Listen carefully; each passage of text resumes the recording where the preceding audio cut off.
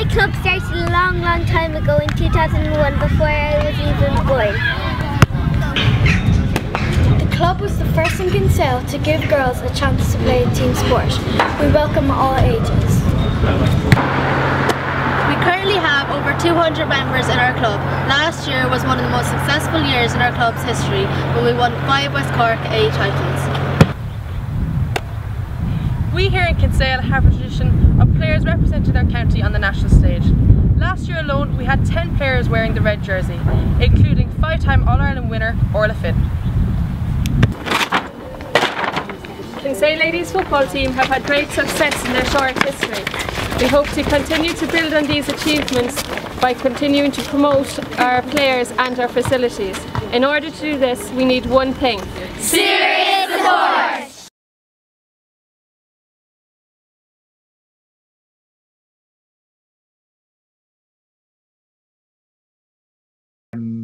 I love the little girl at the start of it. Um, the club was founded in 2001, which was before I was even born.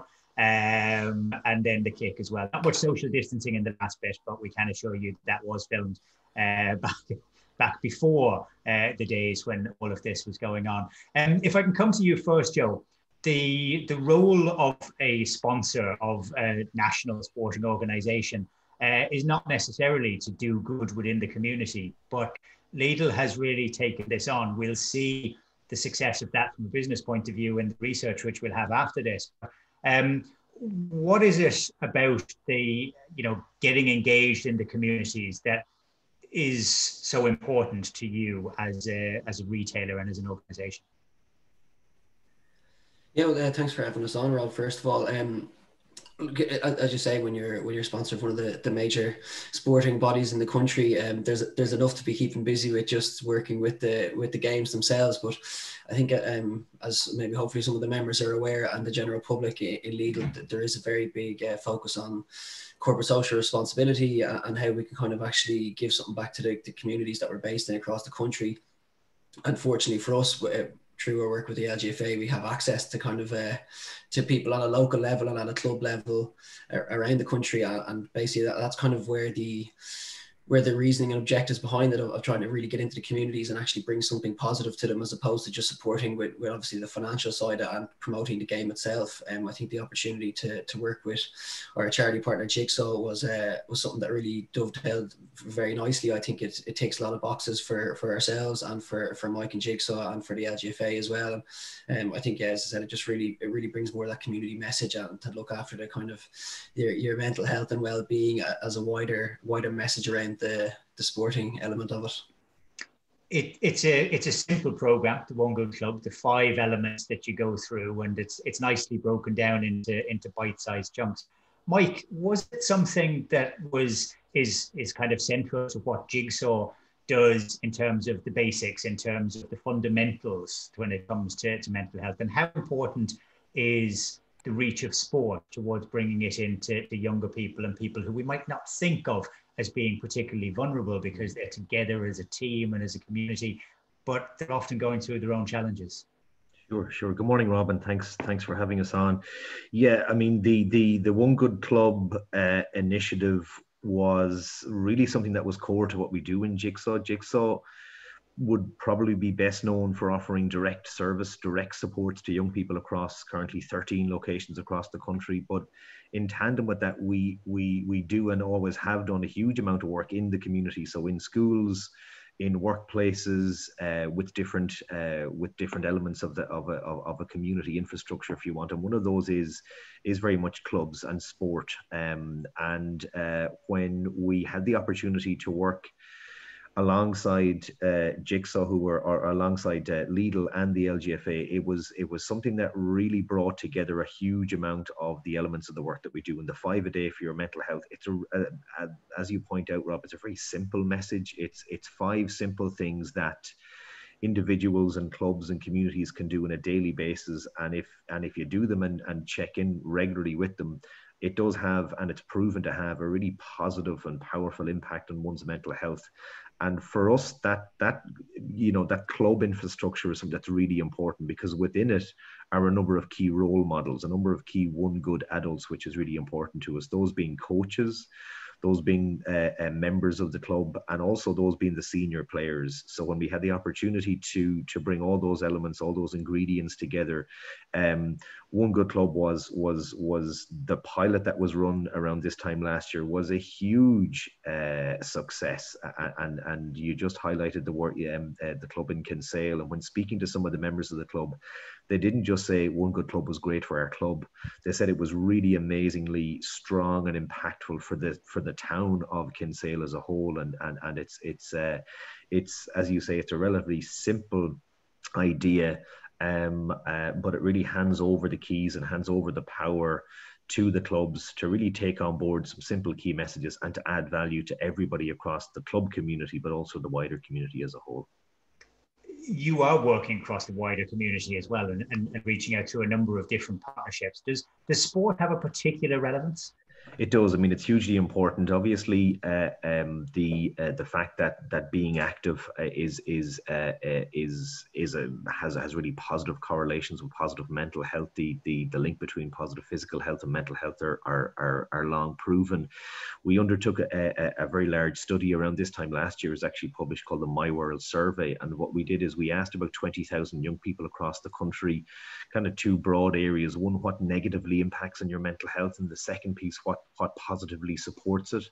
And again and again really strong there was sport was being active was working out was was and and it, it, it comes up really really strong. And we know that those who were who were involved in organized sports or even in individual sports or anything that gets them out and gets them active has a really direct and positive impact on one's on, on, on one's mental health. And we would have seen that message being being repeated again and again throughout the last 10 months of COVID, where there was a lot of communications that were focused on make sure that you use the time that you have to be active and and and and uh, and to get out. And it's hugely important for us. Uh, it's hugely important for individuals it's important that that group dynamic in, in, in sport is important for for building and maintaining positive relationships, for achieving and achievement and self esteem is really important factors in mental health. So, sport ticks a huge amount of boxes in supporting ourselves as adults, but also particularly supporting young people in developing some key life skills and, uh, and adding resilience. That's a hugely important factor for positive mental health great to know and great to just have it reiterated again. There's many different sporting bodies in the room, most of whom are dealing with children, and that sense of, of importance. Um, a warm welcome to you, Emer. I guess most of the kids in your charge are probably being active and loud and noisy out in the uh, in the playground uh, or the close at the moment. Um, the, the the sense of um, you know of, of your being there as as an elite player uh, within the Donegal team um, in in ladies football how relevant has it been for, for you as a group when there have been so many changes this year and so many different challenges to be faced? You're probably seen within your community as being, uh, she'll be all right. She'll be one of the tough ones. That team there, should they've got everything going for them. Um, but how how has it been as a as a player as well as an ambassador, obviously for the for the One Good Club initiative? Well, I think um, the the whole initiative has really come around at the best possible time. You know, with the lockdown and the current restrictions that we've seen throughout the country, um, I think Lidl and Jigsaw couldn't have picked better timing, you know, to launch this initiative because it's really been the most important time in all of our lives to have that extra wee bit of support. Um, I've been a member of the Donegal ladies team um, for 11 years, and of course, I played longer for my own club, Termon. And as you said, you know, I've had a real sense of camaraderie from every team I've been part of. And, you know, I felt myself even during this time, you know, as, you know, a 26 year old, someone who's been, you know, well established as a teacher, that, you know, I've struggled as well without that routine of sport, you know, the certainty of sport and, you know, knowing that, you know, every night or every second night that I was going to see my friends, see my teammates and have that security of, you know, routine. Um, so I think having access to you know the knowledge that I've gained just from working with Jigsaw and from working with the LGFA and Lidl on this new initiative, it has you know really given me a huge platform to support others, and I've learned so much myself from being an ambassador for Lidl and you know helping out with the, the, the One Good Club initiative during this time. And you know it was such a challenging time for all of us, not to mention the young people in our community. You know with our young people, they're so used to routine. They go to school, they go to their training, you know, they do their homework. But this year, everything's just been turned upside down. They have no routine, they have no schedule, they have no one to one contact with their teachers, their friends, their coaches, their teammates. So this has been a real time where they've had to really look at themselves and you know be by themselves for huge quantities of time. And of course, as we know, sometimes that can be hugely dangerous for our young people.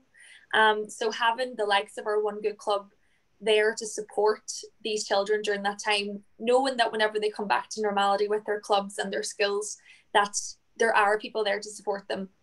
And you know, as we were just saying, you know, having access to that one good adult has been so so important in my own community. Just knowing that there's someone there that the children can trust, that they have a mentor there, to know that they have support in some capacity has been hugely beneficial to the people of my community, not to mention the people across Ireland. Uh, it, it, it certainly has. We were out training with my under 15 uh, ladies football group last night in the lashing rain. Um, and uh, nobody was moaning, nobody was giving out. They just loved being out there and, and getting out of themselves.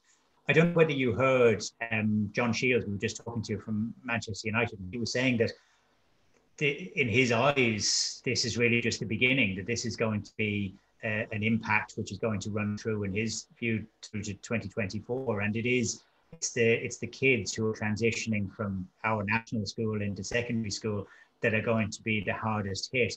Is it something that you see in in terms of the you know the kids that you're seeing on a on a day to day basis that that there is a change, that there is a way in which we need to be more careful with them? Well, I completely agree. You know, I actually teach in a school with a thousand girls. So, um, you know, there's a huge number of girls coming in and out of our doors every day. And only a small portion of those girls, you know, take take um, part in sport in some capacity. Every child has different interests. And, you know, we are very blessed with the girls that do play Gaelic football in our school. There is a real sense of community there.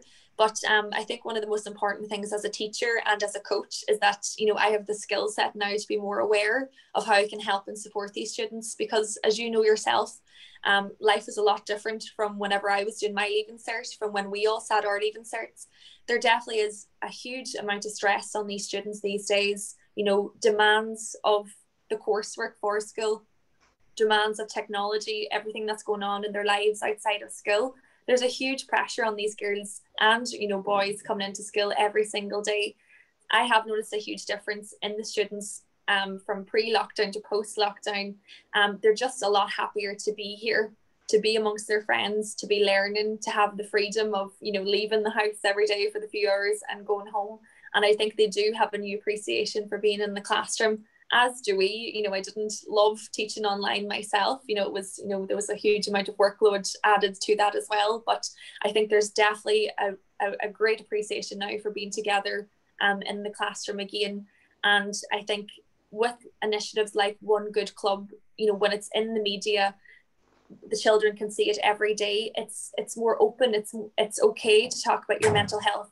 We all have an increased awareness now of how to support each other um, through these difficult times because we've all had our bad days, especially during lockdown, whenever we couldn't leave the house or you couldn't go out and train.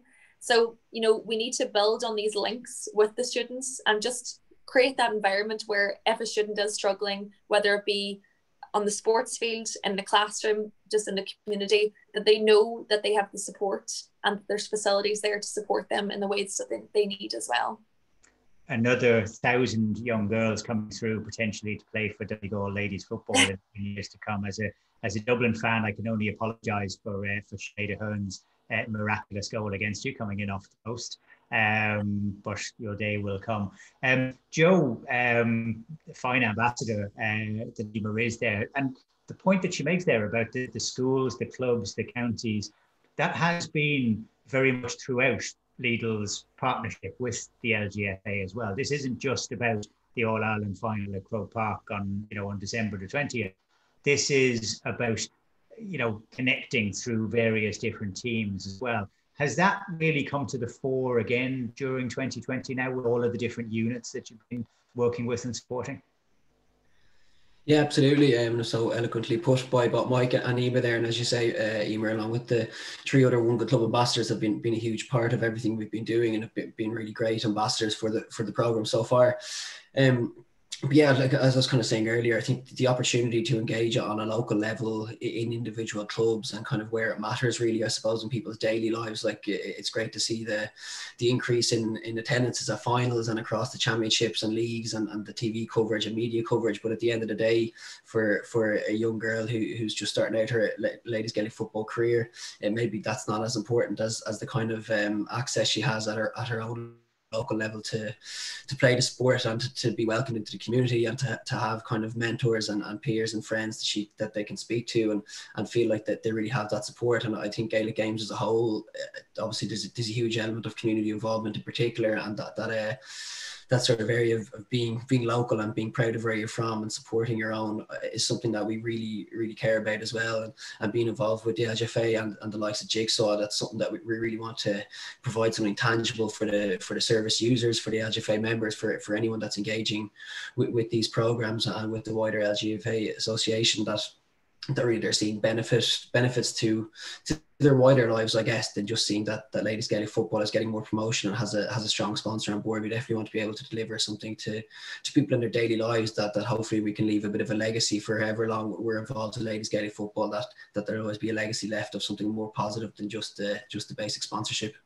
Yeah, there was a fear, I guess, after the first lockdown in the summer when everything was disrupted and we couldn't train, we couldn't coach. That a number of uh, you know, the players might actually drop off. That if you fall out of the habit of it and you're at that certain stage and age in your life, uh, we were blown away. It was, you know, there was not only did everybody come back, but we had girls who hadn't been playing with us for a year or two that were coming back into the club as well. And that's a real importance of just finding somewhere to go outside of your room. Doesn't matter what you're doing, just make sure that you're doing it with with somebody, and that's been great. And um, Mike, if I can just finish off with you, the that sort of vista of this being a, a long-term impact, if if not in terms of the way that we move and the way that we act, but certainly in terms of the way that we feel about ourselves.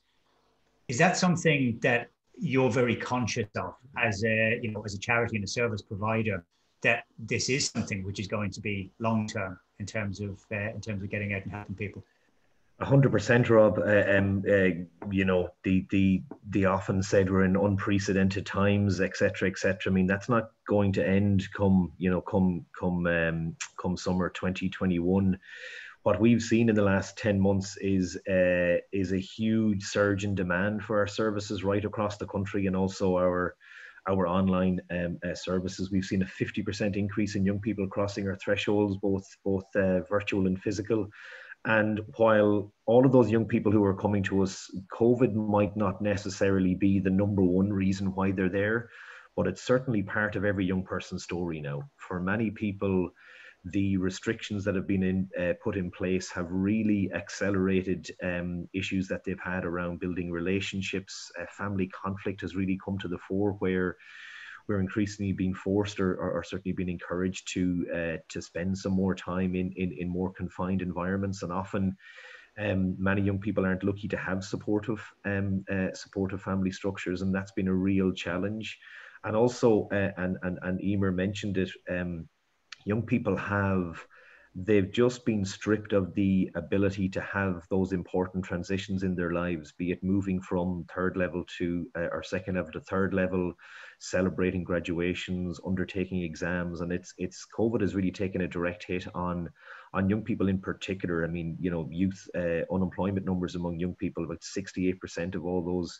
Um, who who were who were currently out of work because of COVID are, are, are those under the age of 25. So there's a huge uh, immediate impact of COVID on young people, but we don't necessarily see that suddenly disappearing once this magic vaccine comes and fixes everything. We're definitely in it for the long play. COVID has changed us as an organization, changed how we deliver services and supports, and, and, and indeed change how we think about that into the future. Um, Jigsaw come January, uh, you know, of this year versus December of this year is a very different organization, and I think we will be, and a lot of that has been uh, I think COVID has been the catalyst for a lot of that. So certainly when we talk about you know our COVID response, uh, our longer term response is very much as John said uh, into the long run. And also as John said, which I think is a, is a point very well made, it isn't just the job of organizations like yourselves to be there for young people. It is everybody's role. That role of one good adult is accessible and easy and achievable. And certainly we'd be looking for everybody across the country help us because um, we currently have uh, concerns over our ability as a relatively small mental health organization to supply the demand that we're seeing um, it's it's high and it's getting higher um, uh, so I think it really is going to it's it's it's really going to take a national effort to uh, to support those who are who are really struggling at this time. Okay, we all need to put our hands up. Um, good people coming together uh, around good projects and having a good effect. That's what we can do. That's what you are doing. Um, my thanks for taking the time out uh, this morning to Mike Mansfield from Jigsaw, to uh, Joe Booney from Lidl, and to Emer Gallagher. We managed to get in before the bell went uh, before you have to get back to the, to the classroom. But uh, thank you all for, uh, for taking the time with us uh, this morning. We